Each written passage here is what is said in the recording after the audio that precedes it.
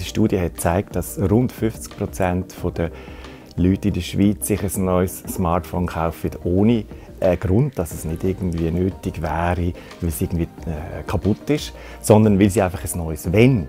Also sie wollen irgendwie im Trend sein oder sie wollen irgendwie das Neueste haben, vielleicht auch die neueste Kamera.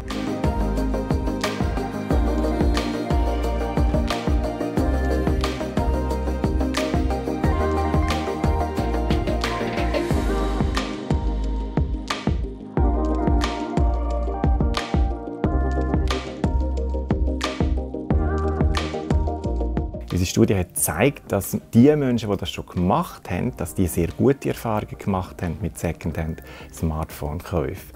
Und darum muss man da sicher eine Sensibilisierungskampagne fahren, sei es von Seiten Herstellenden zum Beispiel, dass man eben gute Erfahrungen machen kann, dass man dort auch Garantien drauf gibt und dass man so das Wissen kann verbreiten kann.